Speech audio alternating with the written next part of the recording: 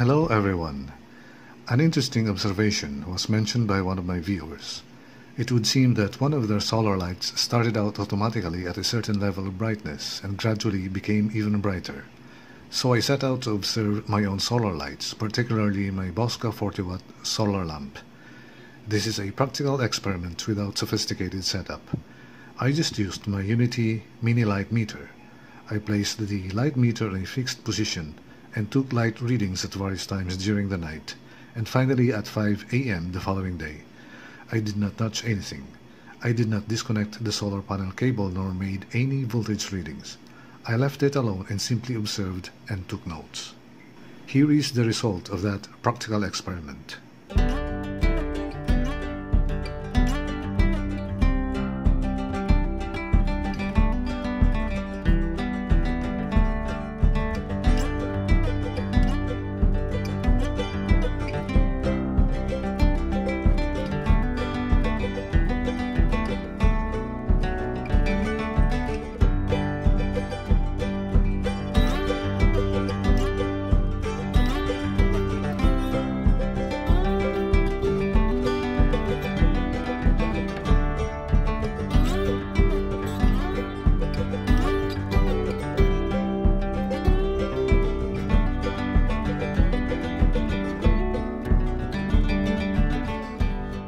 From the data I gathered, my 40 watt Bosca light automatically turned on at 6.36 pm. It started at its brightest, given that I put it on full auto control.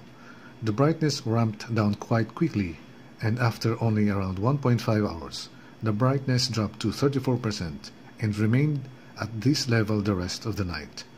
Total time the light was on, around 11 hours straight. A 66% drop may seem a big drop, and it would be a concern if I was using it to read a book.